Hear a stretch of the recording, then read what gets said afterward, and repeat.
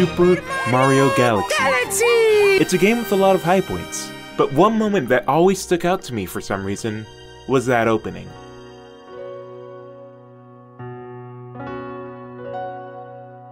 Of course, it's not the only Mario game with an opening, they've been doing that since Super Mario World, but this one is the most elaborate up to that point. And it needed to be, as you can't just plop Mario into space and expect people to run with it.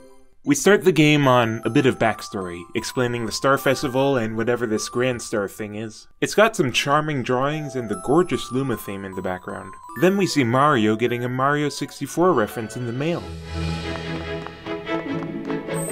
I love this little shot of him running up with his arms spread out like This shot right here is Mario's personality to me. The music and atmosphere at the Star Festival is very relaxed and lighthearted. The only real challenge is grabbing these star bits, which isn't a lot, but it's a thought that counts. Mostly you're just pressing on to see what this festival is like, and to hear what the toads have to say. This one toad is spinning and that's funny. But then,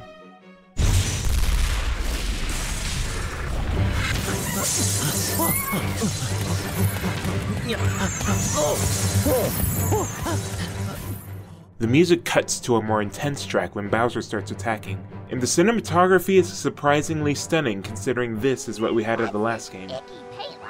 The cuts even line up with the music, you love to see it happen. You immediately see and hear how dangerous this situation is. For instance, there are meteors. The first one is really just for show, like it won't even fire if you stand in its way. The second ones can hit you if you go out of your way to get hit by them. Now the last ones are right in the middle of the main path, though still very easy to plan around. The intensity is only ramped up as the entire castle is captured through means of this UFO that Bowser just had uh, on his offhand. Gee, how could this get any worse? Kamek swoops in, talks at you like this for some reason, and flings Mario into space. And then, silence.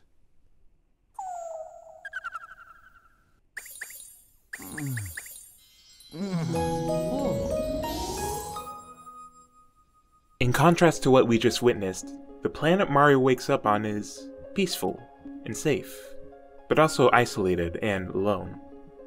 I mean, except for these rabbits that you have to chase. It can admittedly get a bit annoying, but at least they get tired after a little while, which makes it a bit easier. I also like the xylophone they add to the song during this part, and the percussion when you actually start a chase with them, and then how it fades back into the beautiful original arrangement.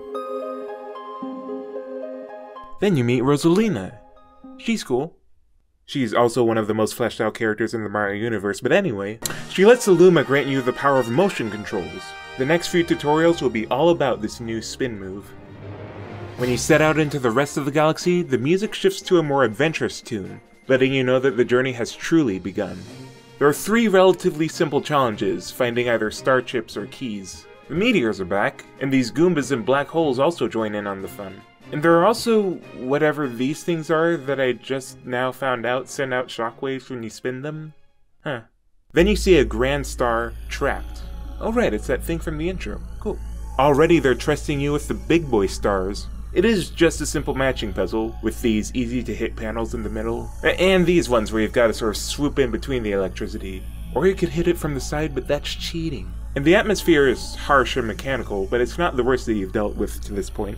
And finally, you grab the Grand Star and take it to the Comet Observatory to power part of it on.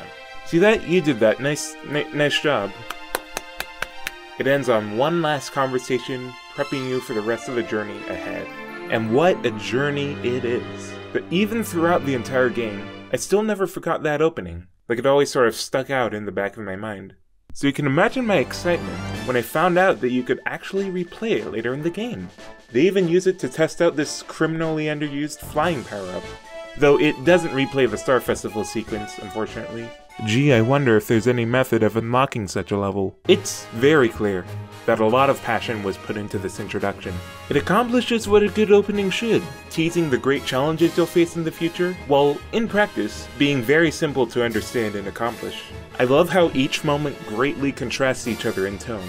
It presents this game's range straight to the player. Most of this is accomplished by an incredible sequence of songs, which are great on their own, but are enhanced with the context that each one provides.